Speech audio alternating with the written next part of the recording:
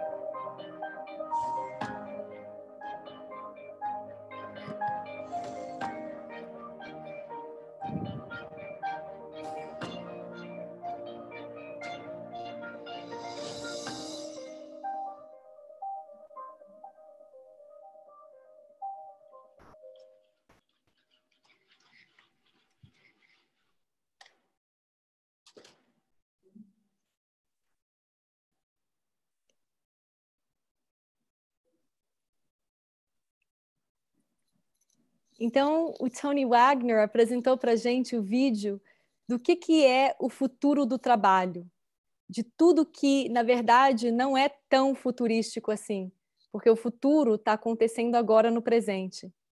O Tony teve um problema na conexão dele com a internet nos Estados Unidos e ele está tentando reconectar, pelo mesmo motivo que a gente teve que se atrasar um pouco no início da nossa live de hoje. Então, com isso, eu quero só contar um pouquinho sobre a nossa escola, a Escola Concept, que está aqui hoje representando é, essas lives que a gente chamou de, de uma série chamada In Mind, onde vamos ter vários talks ao longo do mês de maio. Teremos talks que serão focados em mindfulness, inovação, no new normal e em disrupção. E cada semana vamos trazer para vocês novas pessoas, novos pensadores, pessoas que vão provocar esse pensamento de perguntas, que vão estimular a nossa curiosidade, e pessoas que vão trazer informações novas desse novo momento que todos estamos vivendo. Toda semana vamos também compartilhar com vocês uma série de artigos, e esses artigos vão estar conectados aos nossos pilares. Temos quatro pilares na Concept: empreendedorismo, sustentabilidade, colaboração e fluência digital. E os nossos speakers estão, estarão todos conectados aos nossos pilares. Então, hoje, com Tony Wagner, a intenção é que ele possa falar para a gente um pouquinho sobre o nosso pilar de empreendedorismo, que ele possa nos inspirar um pouco, um pouco mais sobre esse pilar e colocar em contexto o que, que esse pilar significa hoje, no momento em que estamos vivendo. E o que, que será desse futuro que estamos vivendo agora no presente, uma vez que essa transição acontecer de voltarmos aos nossos campos físicos da escola, das escolas, ao voltarmos às nossas vidas cotidianas. Então, a intenção do Tony hoje é falar justamente sobre isso. Na semana que vem, a gente vai dar as boas-vindas a Marion Kilonen, que trabalha como a head do Departamento de Educação da Finlândia, em Helsinki. E ela vai estar trazendo muitas ideias para a gente na área de sustentabilidade. Do que, que significa sustentabilidade com relação à educação sustentável? E como que isso se conecta ao mundo que estamos vivendo? E como que isso se conecta a essa educação que deveria estar acontecendo nas escolas? Então, a Marion, junto com a OECD, junto com outras organizações, tem feito, feito várias pesquisas para falar sobre essa transformação da educação na área de educação sustentável. Então, a gente está super, é, é, anim, estamos super animados para poder ter essas oportunidades ao longo das próximas semanas com esses speakers, a Marion sendo a nossa speaker da semana que vem. E com isso, o Tony voltou e a gente teve um tempinho para conversar um pouquinho sobre a nossa série in mind. So, Tony, we'll turn it back to you. Um, we're happy that you could make it back. Well, again, my, my apologies for the internet problems. You would think I live in a third world country with a lack of internet access here, but actually, I only live in rural New Hampshire. but it, it might as well, in some cases, be a developing country for our terrible internet. But anyway, to proceed, you know, when I started my teaching career, uh, nearly 50 years ago. It was the twilight of the industrial era, and people were beginning to talk about the new knowledge economy. Well, you know, that was 50 years ago. And today we no longer have a knowledge economy. We live in the innovation era. And jobs that merely require manipulating information are rapidly disappearing. They're being replaced by computers. Increasingly, knowledge is a commodity, growing exponentially, changing constantly. It's on every internet connected device. You don't need a teacher to acquire knowledge anymore. And in fact, employers no longer care how much knowledge our students have. What employers care about, what the world cares about, is not what they know, but what they can do with what they know. I'll give a couple of interesting examples. You know, Google used to only hire kids from Ivy League universities and only interview those who had the highest test scores and the highest GPAs. And then along came Laszlo Bock, and he's senior VP of people operations. He analyzes the data like a good Googler, and lo and behold, discovers that there was no correlation between those kinds of benchmarks they were using and success at Google or in the innovation era.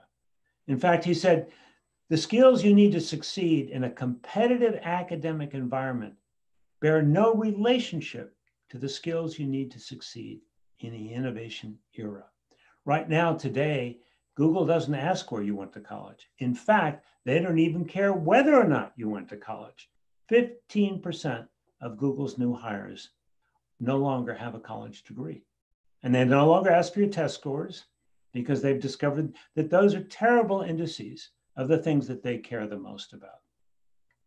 Well, I thought that was Google, and you know, that's California, we know about California.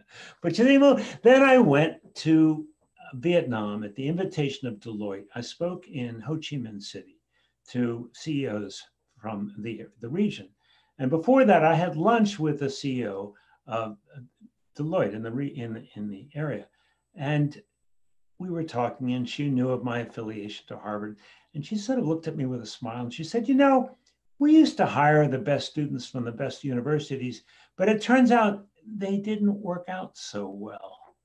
She said, now we look for good students, but then we put them through a summer long boot camp to see how they solve problems collaboratively.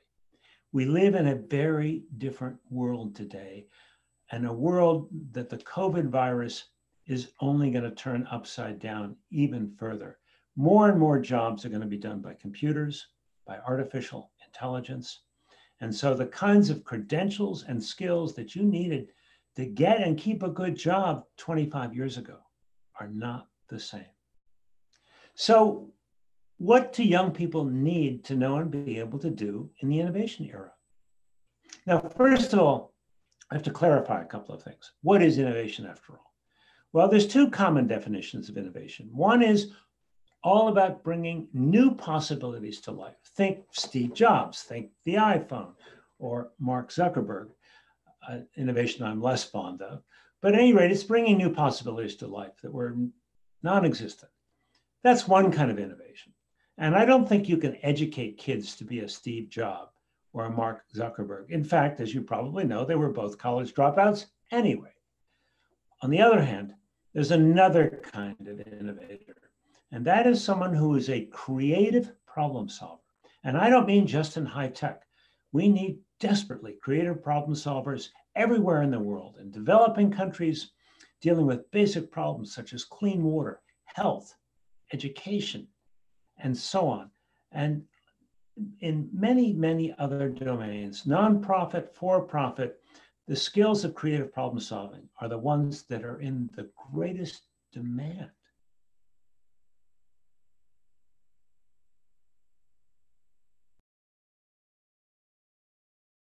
So the question now is what creative problem solver? Well, here's the good news. We are born curious, creative, imaginative. That's the human DNA. The average five-year-old asks 100 questions a day. I know that because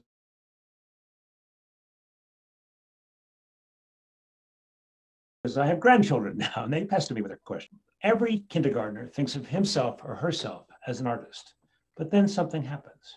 We call it school because the longer kids are in school, the fewer questions they ask, the more they become preoccupied with getting the right answers. So, to try to begin to understand what we need to do differently, I interviewed a wide variety of young people in their 20s, all of whom were already recognized as very successful creative problem solvers. Equal number of young women and young men, some from privilege, some from poverty, and initially just in the United States, but I've since then interviewed young people all over the world. And of course, I, you know, want to ask everything about their lives, what made the difference. Uh, I interview all of their parents, if I can, uh, to find out what the parents had done that had made the greatest difference. And I'll talk a little bit about some of those findings in a moment. But the topic that interests me most, of course, is their education. Well, when I ask them about their education, that's where my first unfortunate discovery occurs. You see, some of these young people had gone to leading universities, specifically Harvard, Stanford, MIT, Carnegie Mellon, and they all told me they had become successful creative problem solvers in spite of their schooling, not because of it. But I pressed, I said, you know, surely you can tell me about somebody, some teacher who's made a difference in your life. And indeed, they all could. They all could name a teacher who'd made a difference in their lives. So I went and interviewed all of those teachers to see what they had done differently. And that led to my second troubling discovery. You see, all of those highly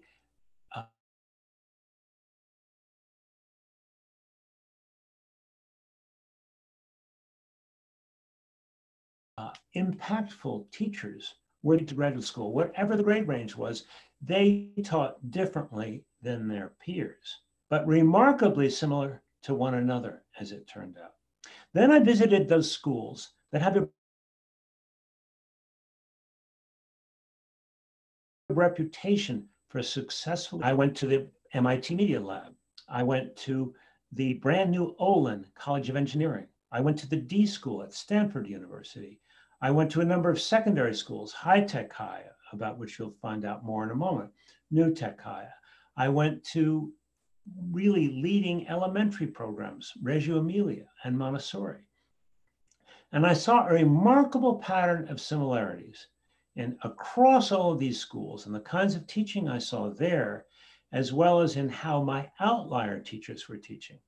They were all teaching in ways that were very similar to one another, yet very different from what we see in most schools, indeed around the world. So I come to understand there's five essential contradictions between the traditional culture of schooling that is now nearly a century old and the culture of learning to be a creative problem solver, an innovator for the 21st century. Briefly, there are the following. Contradiction number one. You know, uh, traditional schooling is all about celebrating and rewarding individual achievement. That's fine. There's a place for that. But I've come to understand that innovation is a team sport. There is no innovation without deep and regular collaboration. Knowing this, these teachers at these schools I just described created accountable teams for projects that they undertook in the classroom. Contradiction number two, traditional schooling is all about compartmentalizing knowledge. Physics lives over here very far from chemistry, which is quite far from biology, let alone math or the social sciences or the humanities. But what I came to understand is that there is not a single problem that can be understood, let alone solved today in the confines of a single disciplinary silo. Knowing this, these innovative teachers created multidisciplinary courses where teams of students worked on a real problem or on a big question that had no ready answer. Contradiction three is about the culture of the classroom. The culture in so many classrooms I visit all over the world is a culture of passivity. It's a culture of compliance. It's a culture where there's usually only one person in the room doing all the talking. Very different from the culture of classrooms where young innovators are learning to, to, solve problems. They're expected to take initiative. They're expected to question authority. They above all, are encouraged to give voice to their questions, to their ideas, to their concerns. Learning is active, not passive. And the teacher sees his or her role primarily as that of a performance coach and a mentor, coaching students to higher performance standards. Contradictions four and five, I think, are the most challenging of all. Contradiction four is all about the F word in school. Failure, worst thing that can happen.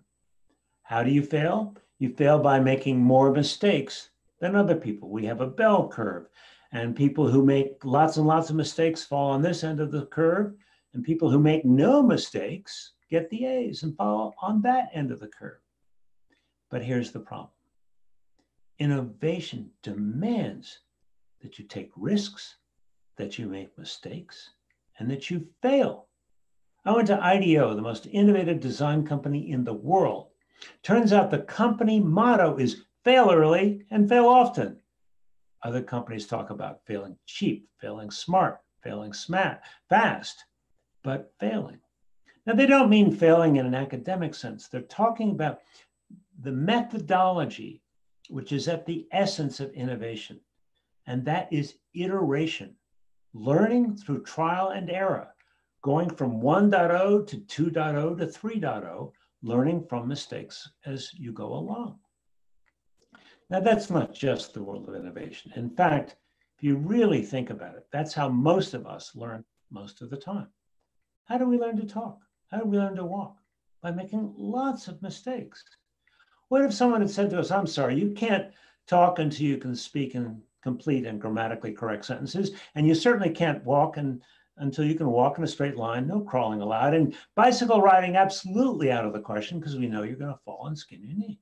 No, in fact, if I could take a poll right now, which I do with live audiences, I would ask all of you in the room or now on our chat to raise your hands if you've learned more from your mistakes than your successes. Well, I confess I'm one. I've just written a memoir called Learning by Heart An Unconventional Education, just out two weeks ago. And the book is as much about my mistakes and my failures as it is about some successes along the way.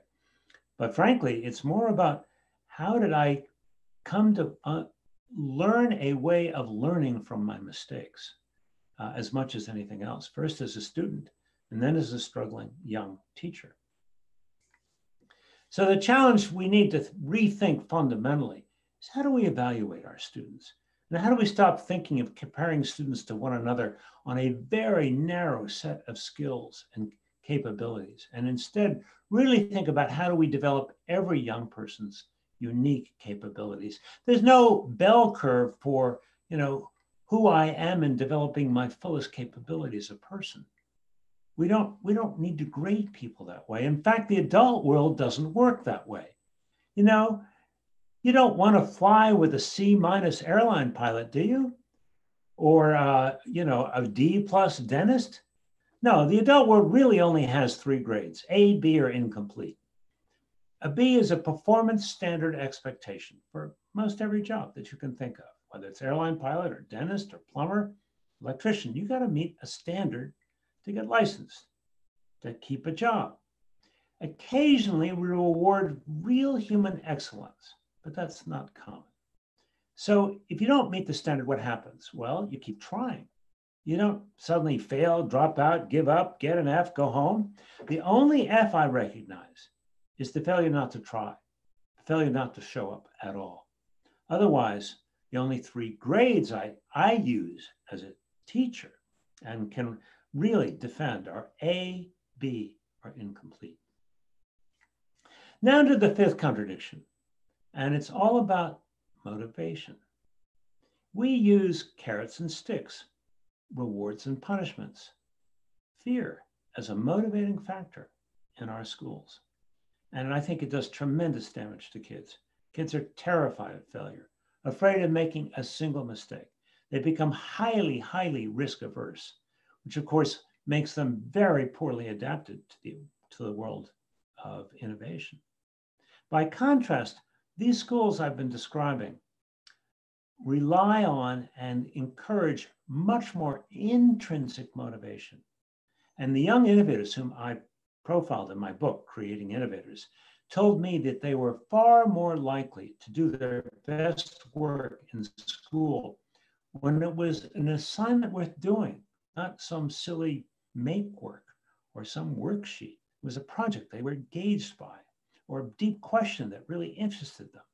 And at the same time, as they grew older, they were interested in, in having jobs where they could make a difference, where they could make a dent in the universe, as Steve Jobs put it once.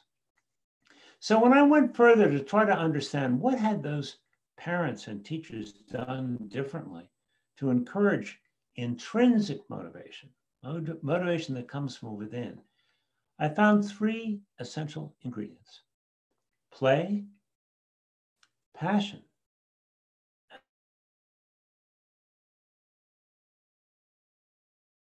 and purpose.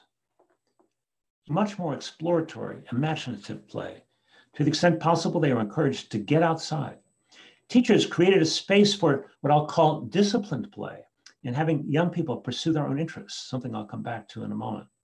But as these young people grew older, their parents were very insistent that they try new things, they be exposed to new possibilities, they explore new interests, and they encouraged them no matter what the young person's interests were.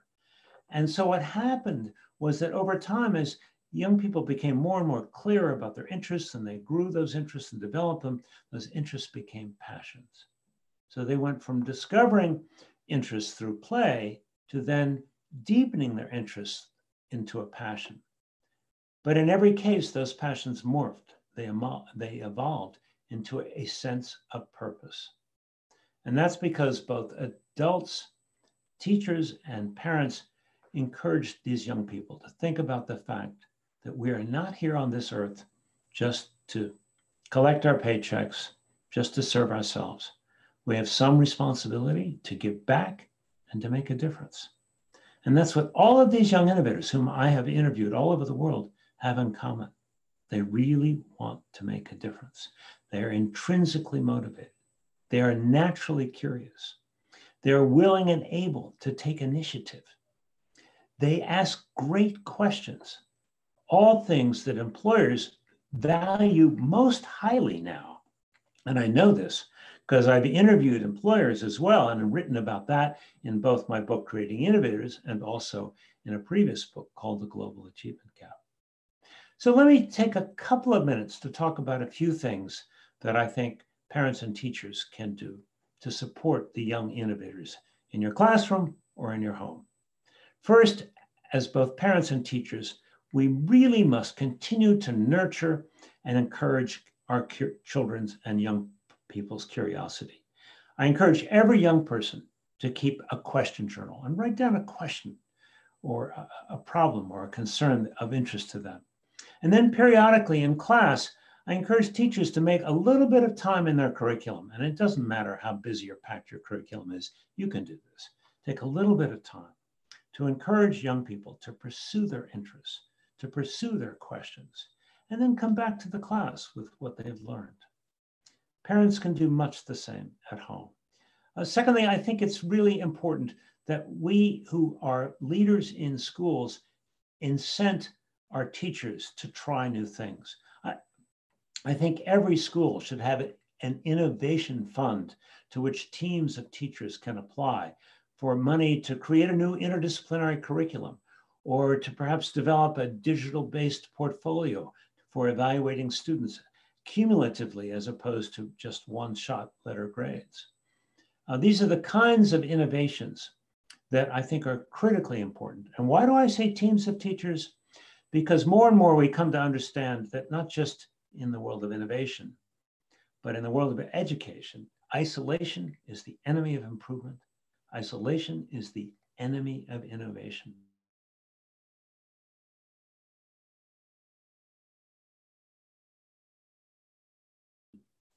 And so it is clear that we'll do better research and vet ideas before trying them so that they cannot fail. They don't need to fear failure. Because in my experience, teachers fear failure as much as, as do kids. They feel judged by kids every bit as much as the kids feel judged as well. It's an entirely fear-based system. And so we have to nurture what I call educational research and development, R&D. Without R&D, there is no change. There is no innovation. There is no improvement. So these are a couple of things just at the school level and in the individual classroom that I believe and have seen make a critical difference in schools around the world. Uh, and certainly in uh, Priscilla's school and in others, where teachers are encouraged to work in teams, where they're developing projects that engage kids, encouraging them to take initiative and to be curious. So I want to share one with you. Uh, I had the pleasure of working with Ted Dintersmith on a documentary film called Most Likely to Succeed. If you haven't seen it yet, it's on most um, social, social um, uh, platforms, including iTunes, YouTube, video, and others so you can rent it or even buy it. But it's been shown all over the world in countless school communities. And it, it's a wonderful video that provokes a lot of really thoughtful conversation and discussion. And it would be a great place to start in your community if you haven't yet. So I'm going to show you a small clip from this video. It's a five minute clip of a ninth grade class in a school called High Tech High, one of these new exciting laboratory schools, this one on the West Coast, serving, by the way, predominantly minority children from poverty. Uh, but this is a school where every class is team taught by pairs of teachers, and all the classes are multidisciplinary. So in this short video, you'll see a humanities teacher who teaches history as well as English, and a science and engineering teacher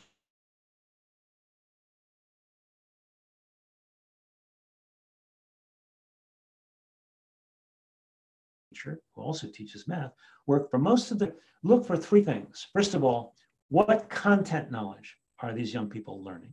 Because academic content knowledge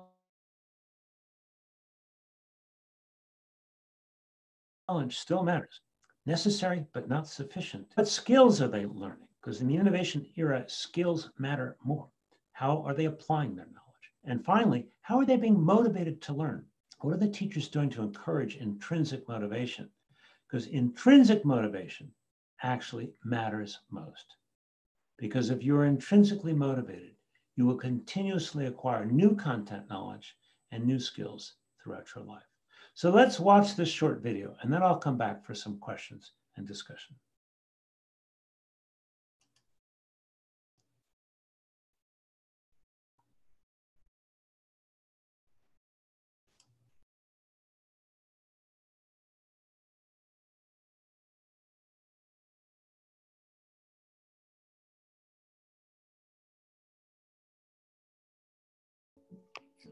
Philosophy of high tech high is founded largely on the idea of kids making, doing, building, shaping, and inventing stuff. The engineers that I know, the architects I know, the artists I know, uh, the great educators that I know, the entrepreneurs that I know, are all sort of perplexed and curious about how they can do it better the next time.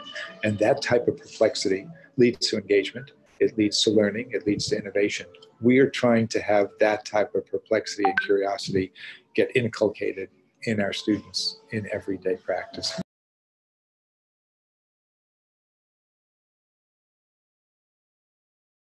Both Linkabit and Qualcomm, one of our problems was being able to hire enough qualified people, enough trained people. And so it's kind of a long-term view to set up high-tech high. I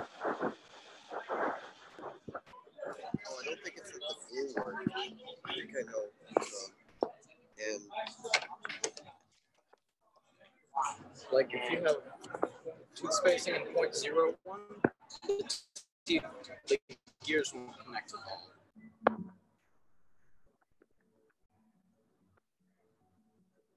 We didn't know that it was all going to work until maybe four weeks before exhibition, yeah. three weeks. We, I mean, we knew we knew that pieces of it were working, and, and even those pieces were impressive. We had to learn about civilizations, the Mayans, the Romans, and the Greeks. And Scott and Mike didn't want to just teach us this, so they came up with this big wheel, which is a big gear, which has a lot of drawings on it, and is connected to all these other mechanisms, and they each represented our theory. So um, I learned about Mayans, the Greeks, and the Romans. And I really based my theory off of the Romans. Mm-hmm. And why so? Because it has to do with expanding. They were always expanding. Mm-hmm. And I, I realized that they were expanding not because you're not just for the fun of it, but they needed resources for all the people back home. It'll then they had to, on their own, develop and defend an idea on why they think civilizations rise and fall. So we had to create like a flow chart just explaining what our theory was, and then we got critiques on it, um, and then we created a group one. Another piece is on the mechanical side. They need to take what's already an abstract concept with their theory, and they have to take that and actually physically manifest it. They have some very preliminary metrics they need to use. They know that there's going to be a big wheel turning at a certain RPM. They know how many teeth that is, so they have basically a box to work within, some bounds to work within, and they have to make everything. yeah, you get it. Oh,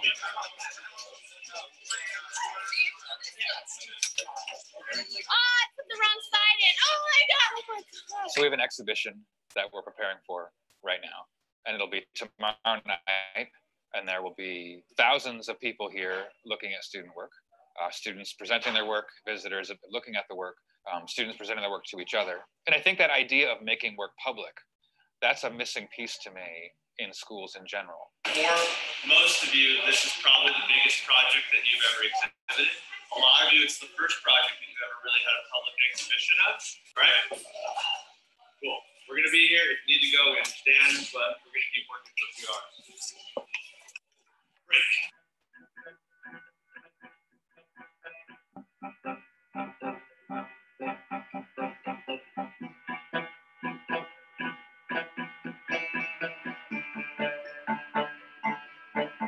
This idea of sort of making something and having a public exhibition and having people come look at it and you have that feeling that we all have like how did they do that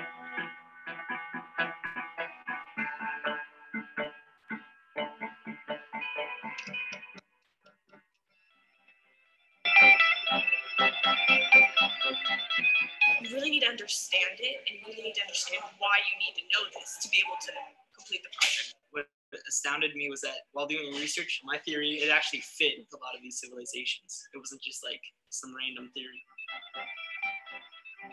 when kids have that feeling it's transformative for them i made this and everyone's coming to look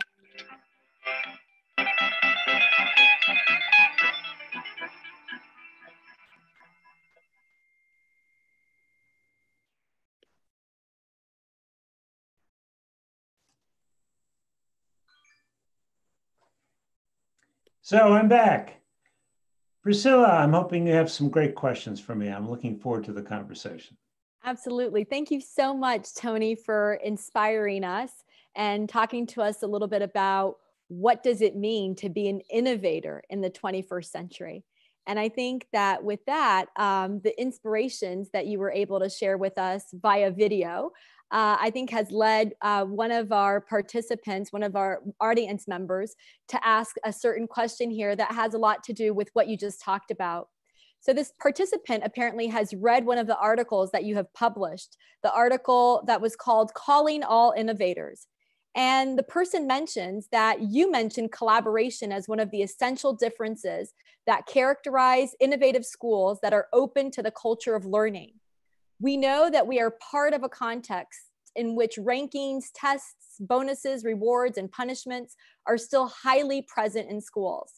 Often, these mechanisms are not explicit, but are hidden in small actions or behavioral control, competitiveness, and external regulation as they were part of our training. How could we promote a change of mentality in the school community with this regard? How could we make the relationship between autonomy, innovation, collaboration, a triad that is visible in concrete actions? Well, that's a great question. Uh, I, I don't know how I can, uh, you know, answer all of that, but I think it begins with helping the adults in our community understand a changing world. So often we educators want to start with a solution rather than the problem, the answer rather than the question. You know, it's reform du jour, it's fad of the month, much too often in education, in my too many years of experience. So like, the challenge is to start with the problem. How has the world changed since many of us went to school? And what are the skills and dispositions that matter most today? And that's why we made that film most likely to succeed, from which you just saw a small clip, to really help communities uh, have that conversation about the nature of the changing world. Because I think only once we really understand how important creative problem solving is and how important the skills of collaboration, of taking initiative, and all of these other things are in today's world, only then I think are we going to be willing to consider leaving some of the trappings of a century old school system behind. You know, a lot of people are afraid of change in education. I understand that.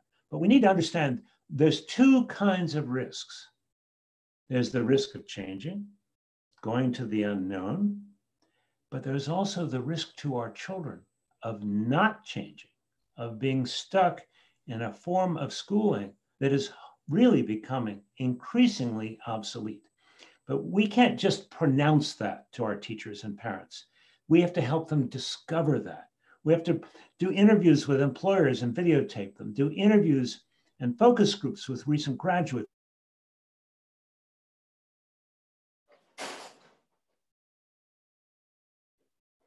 It's about how they were most and least well prepared.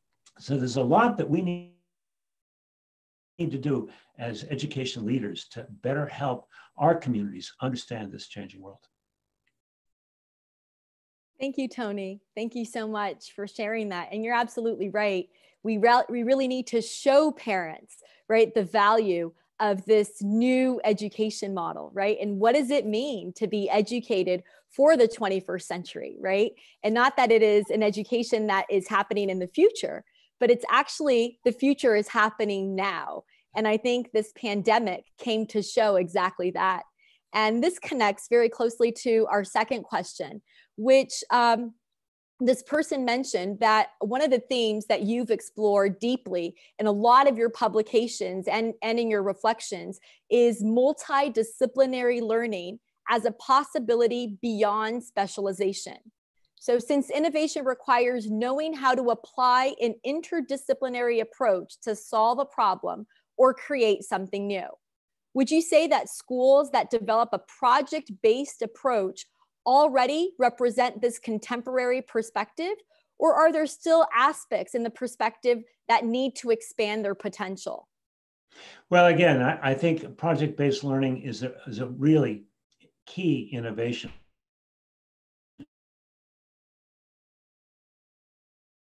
But it's not the only innovation-based learning.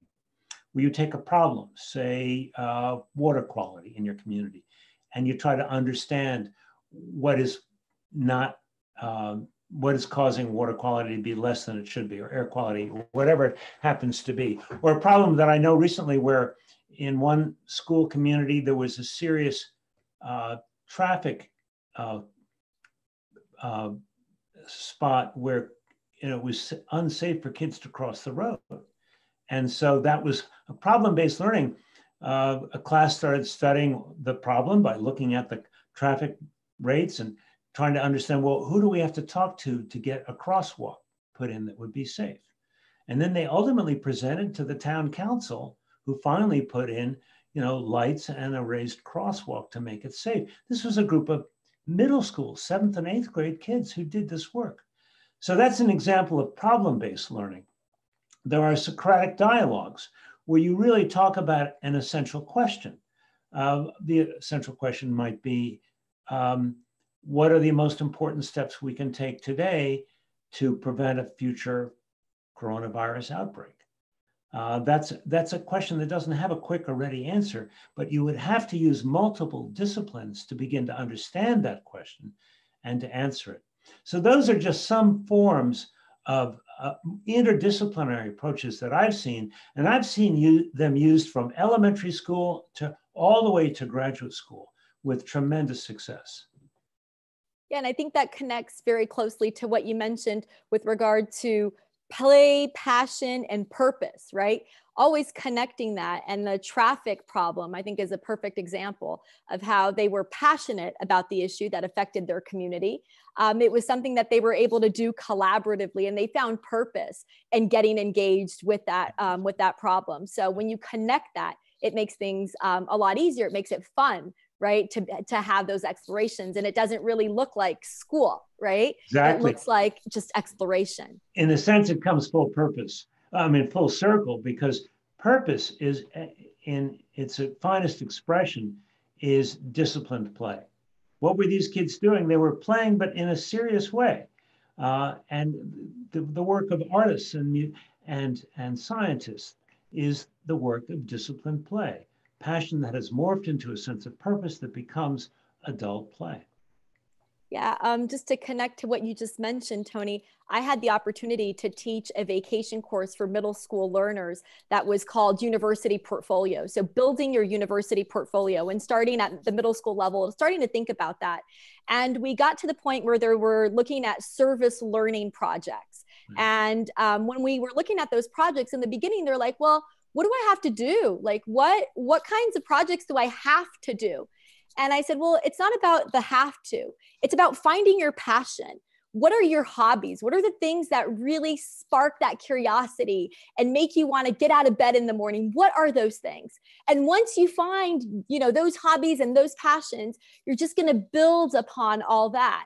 And that will become your service learning project because you're going to think how to connect that to providing for others to giving back to society so I think that, you know, goes hand in hand with a lot of the things that you've shared today. And it gives us all kind of nurtures that food for thought one of the questions that came from Leo Minor is what are your thoughts on bringing the startups mindset to the schools, both inside and outside the classroom?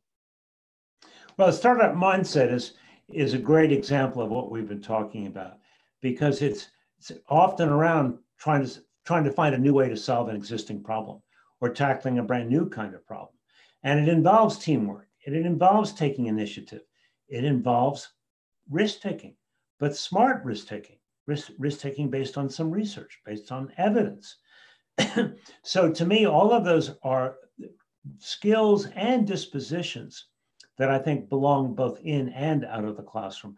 And I think we need to break down the classroom walls and have more kids have the opportunities for both service learning and work based internships where they see these skills and dispositions in action.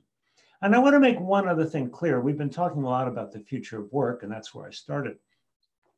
But something we all need to understand the skills you need for work in the 21st century are exactly the same skills you need for active and informed citizenship.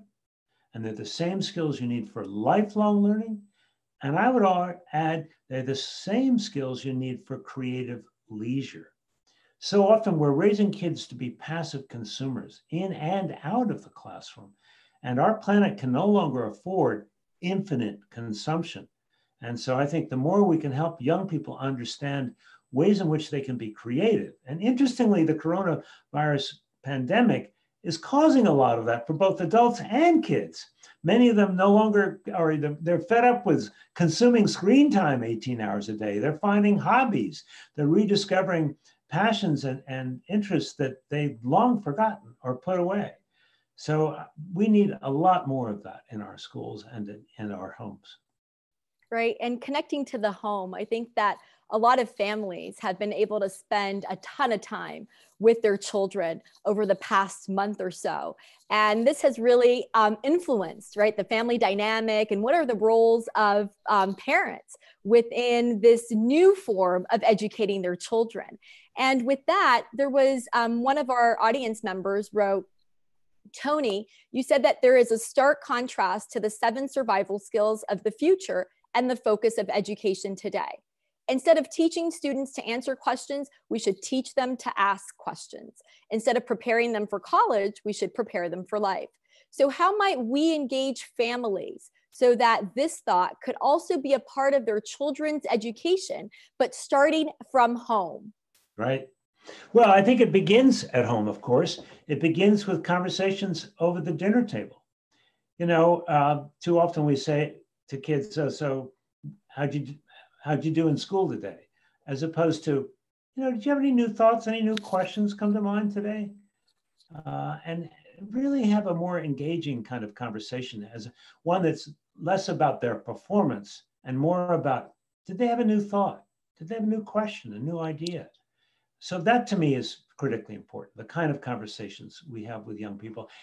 Next, it's taking their questions seriously. You know, it used to be thought by child psychologists, even as recently as 20 years ago, that young people asked a lot of questions. I'm talking about five, six, seven year olds to get attention. But now the latest research shows that's not true. They're trying to make meaning. They're trying to understand the world. And that doesn't stop when you're five, six, or seven. You know, 15, 16, 17 year olds are doing the same thing. Sometimes our 27 year olds are still doing the same thing. And we need to take their questions, their concerns, and their interests seriously. Now, to the college issue, I think it's really important that we understand that while college may work for many, uh, it's less and less of a sure bet for many. It's expensive.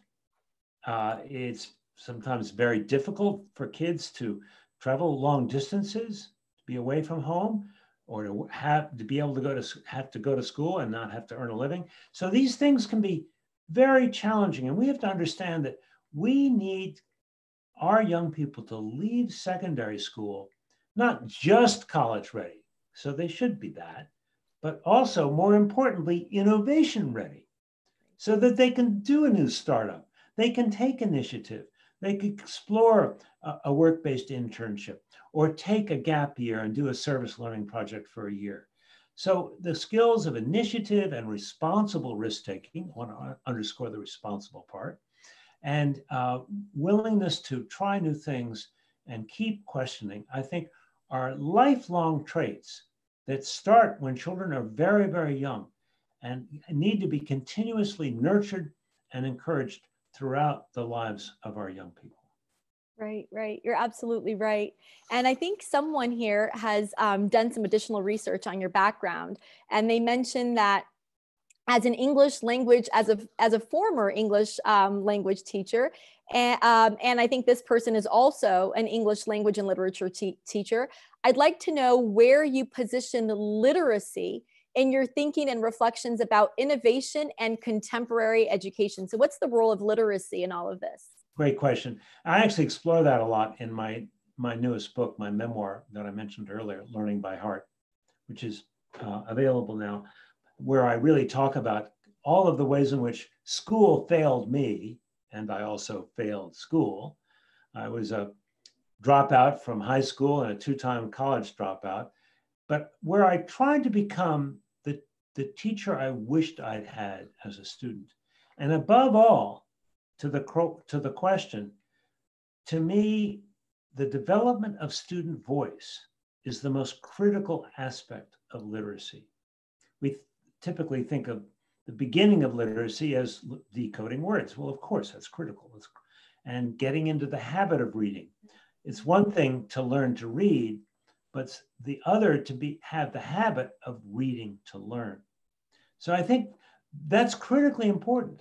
But as important, and increasingly when young people become adolescents, I would argue is co-equally important is giving young people an opportunity to develop the skills of oral and written communication by providing them with topics of interest to them, by enabling them to write editorials about things of concern to them, write short stories, write poems, develop their voice in many, many different ways. And I chronicle how I tried to do that for 10 years as a secondary uh, English teacher in, in my memoir.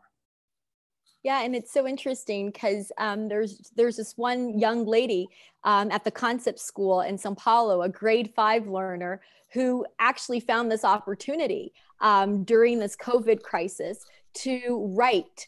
And she has now published a newsletter every two or three days within her community.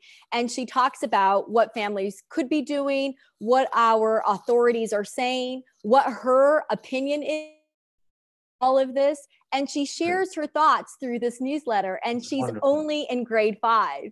So and you know so inspiring gonna, that's that's going to stay with her all her life. This is a that's a perfect example of a young person finding a passion and i'm sure there were some adults who are actively encouraging it.